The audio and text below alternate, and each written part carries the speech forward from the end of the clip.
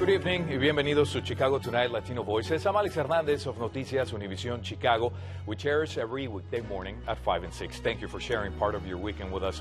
On the show tonight, for the first time in 54 years, the 14th Ward is getting new leadership in City Council. We talk with Alderperson elect Jeylu Gutierrez.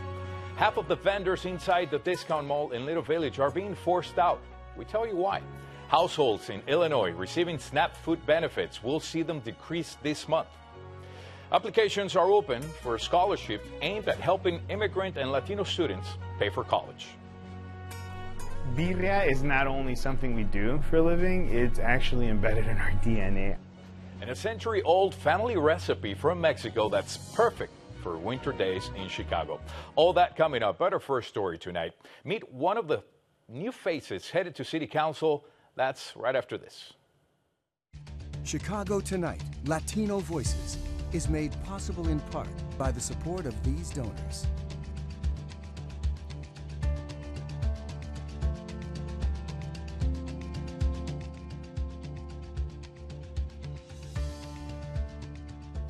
Though the race for mayor and many of the aldermanic races are still up in the air, this week's municipal election did bring some decisive outcomes. Among the outright victors winning seats for the first time were Julia Ramirez in the 12th ward and Jesse Fuentes in the 26th ward. Here is some of what they had to say to Schutz the day after the election. I think it's deeply rooted in the ways in which we don't have opportunities, and some of our uh, Chicago public schools in 2025 may close. And so, how are, how are we providing opportunity for kids to prosper, to, for people to thrive? And I want to make sure that um, that we're investing in working class families in the 12th ward. There's a direct correlation from the disinvestment in our schools and youth programming across the 26th ward and the increase in crime in Belmont, Cragin, and Hermosa, Logan Square, and Humboldt Park. Our priorities are going to be to ensure that we are opening up mental health clinics, that we are investing in youth programming, and that we fight for schools to have the resources. And joining us now is uh, one of their new colleagues and another new face to City Council, Jeylu Gutierrez, alderperson-elect for the 14th Ward, which includes parts of Archer Heights and Gage Park. She's the first new alderperson in that ward in more than five decades, and that's saying a lot. Thank you for joining me uh, today. And I wanted to ask if you agree with your colleagues on how they would approach improving public safety. You know, we need to tackle this issue from the roots, right? I'm a former educator and mama too. We need to ensure that every single community in our ward is safe. But we also need to make sure that our police officers and our CPD is well equipped and they're also being taken care of. You know, there are also parents and neighbors that they need to go back to their families. So we need to work together with my colleagues, all other city officials, as well as uh, the county and other state and federal officials in order for us to bring resources to our 14th ward. What made you decide to run for uh, office? So I, am a former educator, as I said, Mama too, and I've been um, a district director in Cook County for four years with Commissioner Anaya. And oftentimes I've seen the disparities and the inequities uh, in, the, in our ward. Even though as soon as I came to Chicago, I saw how different Brighton Park, where I landed, was than other, uh, other uh, communities in the north side or the suburbs. And I always uh, thought about why was, what, what was the issue, why were they making that difference? And then I started to get involved volunteering, and I realized that it's because of that leadership that we had in the 14th ward. What do you think is uh, the biggest need that you see in the 14th ward, and how do you plan to address it? So we need to revive that office, right? Oftentimes at the doors, because we knocked on so many doors, our neighbors were all, always telling us they're picking and choosing who to serve, right? There's streets that are cleaner, that are paved, but some others are neglected and forgotten. But overall, the district, the ward is like that. So we just need to ensure that every single request is taken care of in a timely manner and always with a happy face with our staff and with an alderman that is able to talk and listen the needs of our ward. You were endorsed by Jesus Chuy Garcia, and as we know, he did not make the runoff. Um, have you made up your mind or on who you're backing uh, in the race between Paul Vallas and Brandon Johnson? You know, endorse are not given. They need to be um, earned so I need to make sure that my 14 ward is going to be well taken care of. And whatever, it's either one or the other, I need to check exactly what their policies and what their intentions are with our ward because we need to make sure that we back up the best option for our 14 ward. And this ward, you, as you know, obviously has a long history under its former alderperson, alderman Ed Burke. Uh, are there things you plan to do differently? As I said, serving every single resident the same way. You know, paving the streets, cleaning the streets, bringing resources. We don't have a, a, nice library in Gage Park. We don't have a community center. We need to make sure that all our kids, residents, and youth have great spaces to thrive, but also we need to bring investment and help our businesses to keep growing and welcome any new um, neighbors and business owners to our 14 ward. Right. Are you looking forward to working with, uh, you know, new alder people? I am ready. You mm-hmm. know, I'm a, a, community leader, and I've always worked as a team leader and a team uh, player, and I'm ready to work with them alongside with the new mayor as well. Definitely. Well, congratulations thank again, you. and thank you for joining us today. Thank you so much for the invitation. Back with more Chicago Tonight Latino Voices right after this.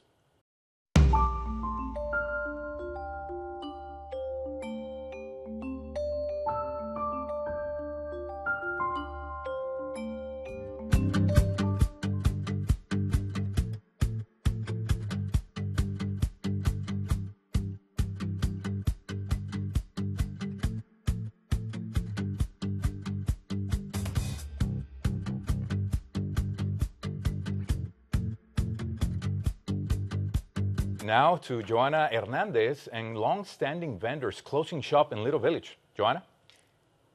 Alex, half the vendors at the Disco Mall in Little Village are being forced out. For the last two years, the mall has been in the middle of a battle between the property owner Novak Development and its vendors. Here's the latest on this ongoing saga.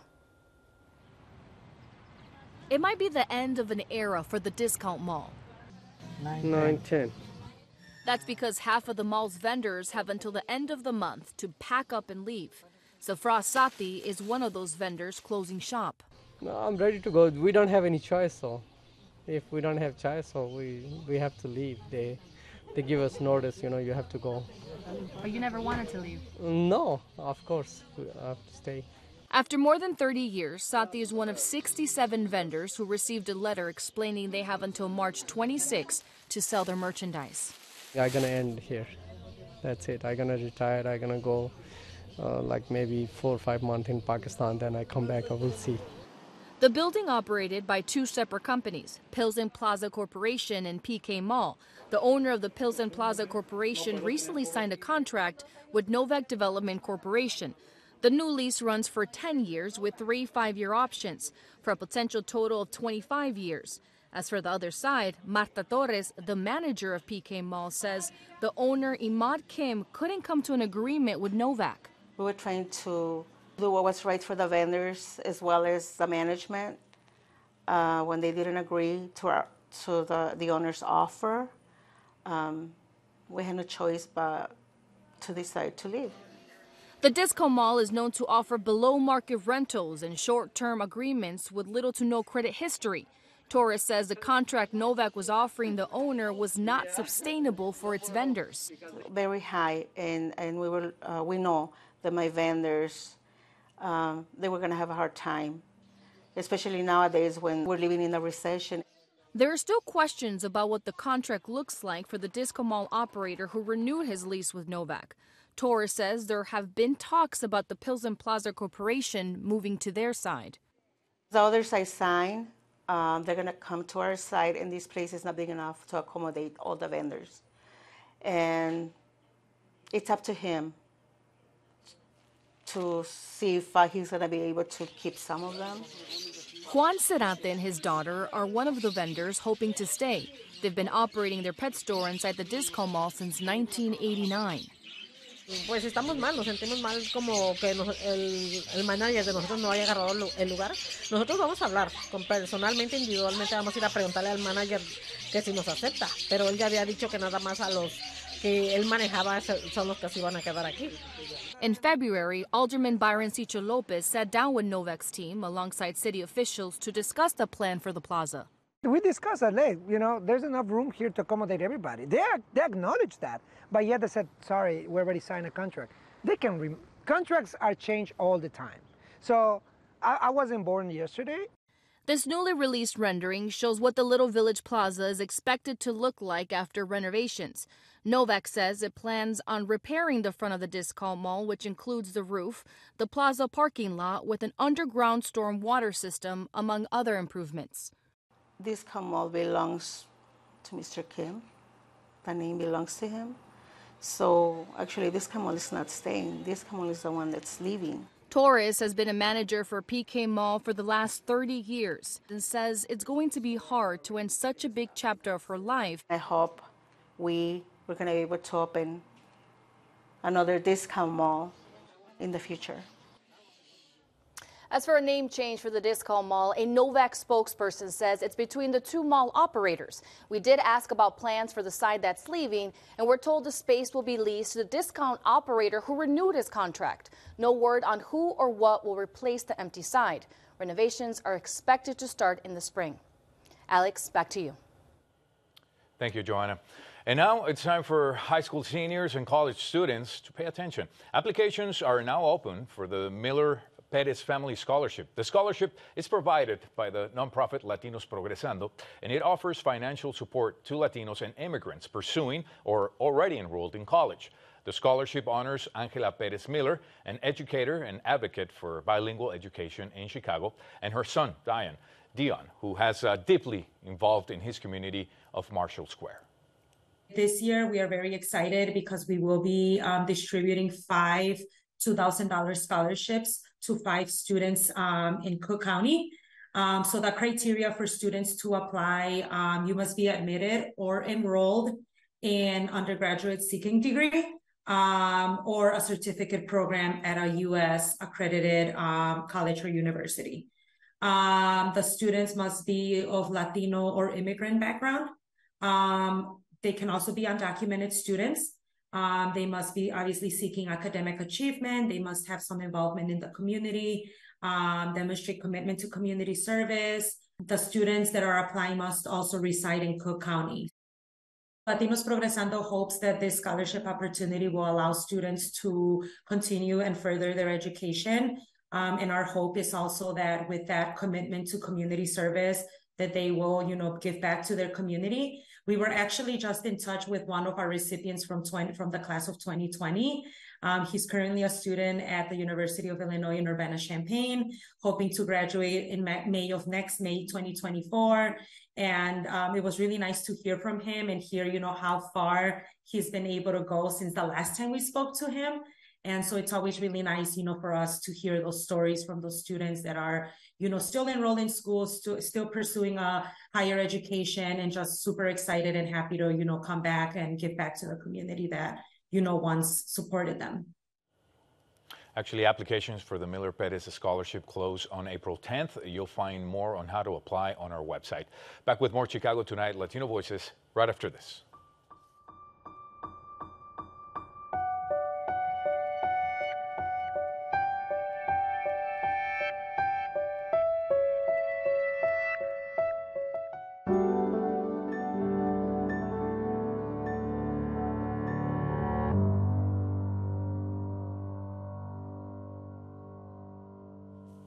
Households in Illinois receiving SNAP food benefits will see them decrease this month.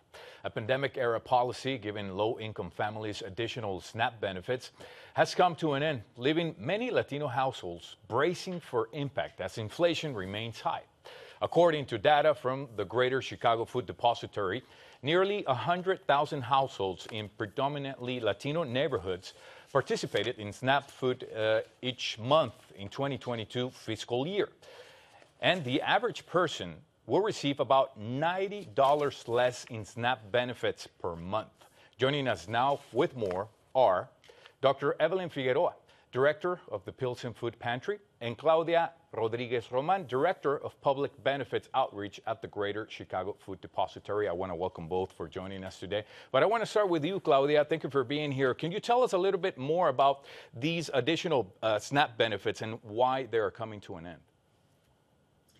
Sure. So the federal government decided in April 2020 that they were going to uh, give SNAP households additional benefits uh, to help with everything that was happening with the pandemic and to ensure that people uh, did not become food insecure. So people have been receiving these additional SNAP benefits for almost three years now.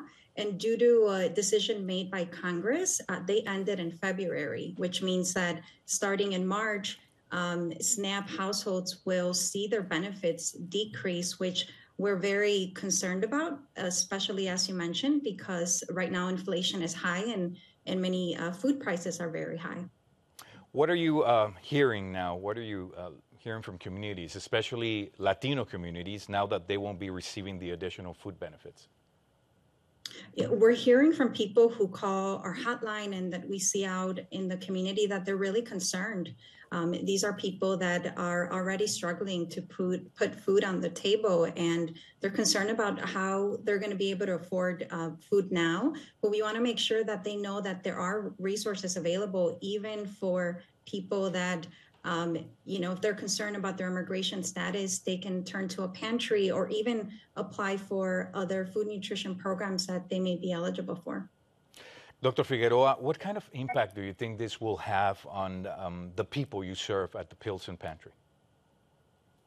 Oh, hi, good afternoon. Um, the impact is going to be enormous. Um, remember that Latinos um, and Black people are twice as likely to experience food insecurity. The rates in Chicago are much higher than the general population. So this is a this is a population that chronically struggles with it, and an average reduction of ninety dollars per person um, for our average household at the Pilsen Food Pantry is is over three people. So you can imagine that that's you know that's a week a week or a week and a half of groceries that people aren't going to be able to make. They're very worried, and um, they're going to have to find more pantries. The historically, this part of um, Pilsen doesn't have a lot of food pantries. We're one of four food pantries um, in Pilsen, and most food pantries are not open every day, so it's very restrictive. So you are anticipating more demand? Absolutely. Our numbers uh, went up uh, during COVID, and every time we've increased capacity, we've in, we've continued to have more clients. Pre-COVID, we were about 160 to 180 clients a week. Um, our average census now is 410 clients. Will you be able to meet that demand? I'm not sure.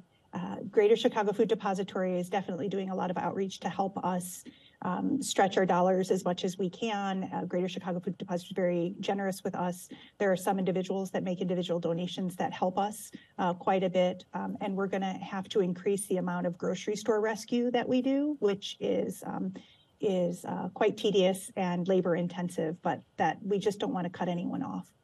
Definitely. Claudia, uh, to pivot a little bit, um, how has your organization actually responded in supporting migrants who have arrived here from Texas? Sure. So, you know, the Food Depository as an organization and our partners believe that everyone has a right, uh, it's a human basic right to receive food. So, regardless of where you come from, your immigration status, if you live in Cook County in Chicago, we will provide food. And we have been working very closely with the city and state uh, to be able to provide boxes of shelf stable items, produce, and diapers also to individuals and family uh, families who need it. And we'll continue responding to the need um, as we have been, you know, for many years now. And thanks to uh, the generous support of our of our donors. Dr. Figueroa, pretty much the same question. Uh, has the additional population affected uh, your supplies as well? Yes, our average uh, weekly census has increased by about 30 to 40 households since um, since September. We also run a free clothing program, so we've taken up specific collections to help uh, families in needs. These are folks that are coming without uh, winter gear, without baby gear, really with the flip flops on their feet, and that's all that they have. So collecting suitcases and just other things that we don't normally stock um, or that we don't stock in very high volume has been quite a challenge, but we've received a lot of support from Alderman Sigcho Lopez and, uh, and other community partners. Right. Well, definitely, uh, a lot of people will need uh, help, right, and would want to help as well. Uh, Claudia Rodriguez, can you tell us where they can find more information on how to help or, or get help? Sure, they can go to our website, chicagosfoodbank.org. They can find information about how to volunteer, donate, but also if they need assistance, whether it's applying for public benefits or to find their local food pantry. Um, we also have a website in Spanish, is banco de alimentos chicago.org, um, and they can find information in Spanish there as well. Could you repeat that, uh, those websites for us one last time, please? Sure. It's uh, chicagosfoodbank.org, and the Spanish website is banco de alimentos bancodealimentoschicago.org. I want to thank you both for your time. Thank you for Dr. Evelyn Figueroa and Claudia Rodriguez Roman for joining us today. Thank you. Good to see you. And up next, cooking up a century old family recipe.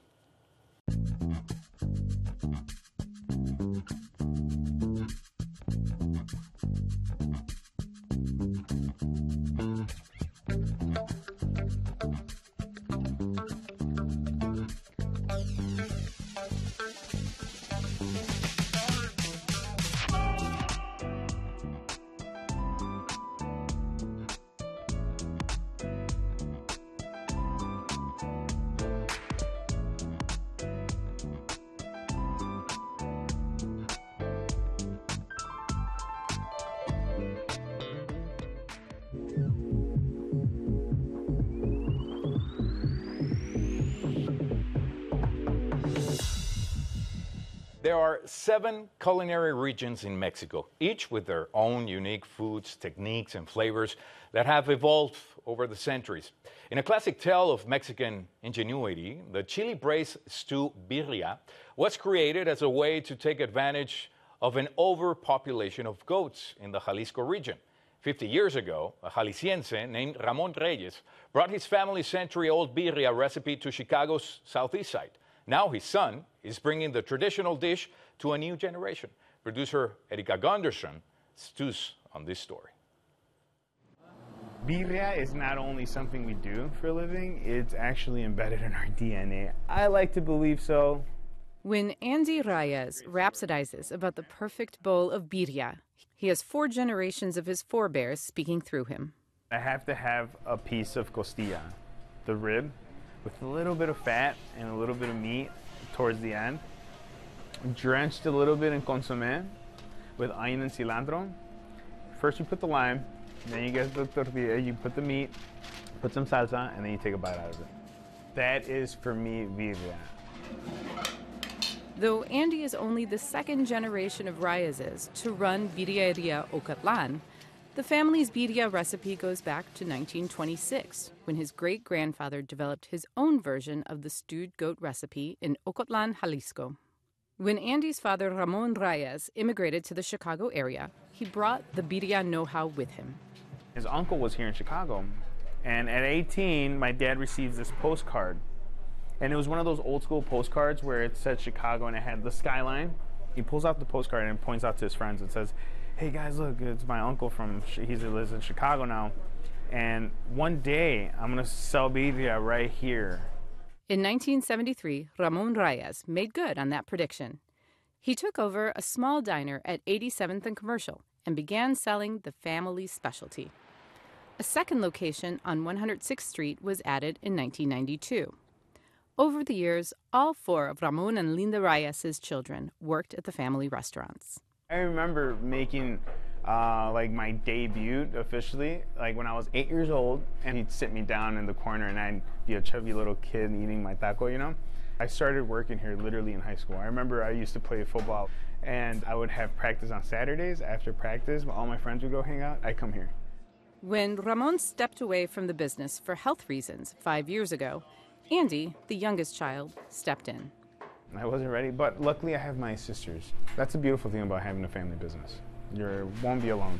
Since then, Andy has helped steer the restaurant through COVID by bringing some modern marketing to the traditional dish and updating the menu to include trendy quesabirria tacos. We kept everyone on payroll, but we closed for like a month and a half. So what did I do? I got back on social media. ¿Qué pasa? ¿Qué le doy? And because of social media, I got traction.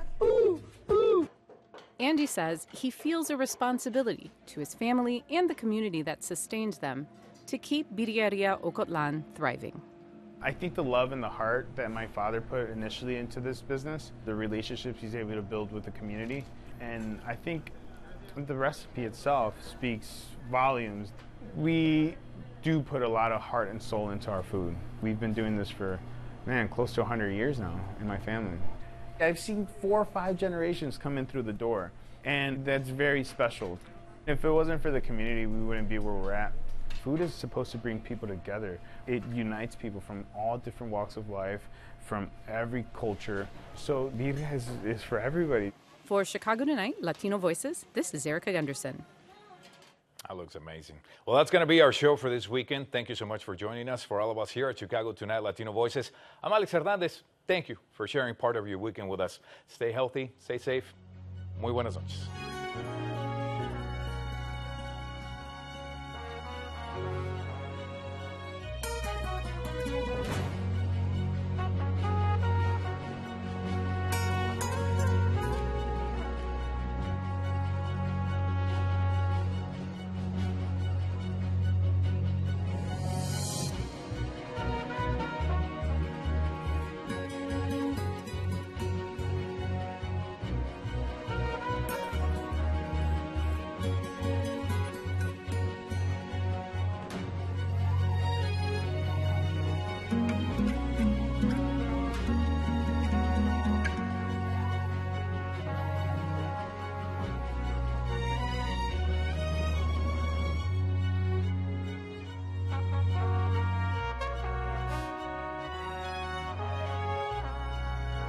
Closed captioning is made possible by Robert A. Clifford and Clifford Law Offices, a Chicago personal injury and wrongful death firm that's proud to serve its community through pro bono legal services.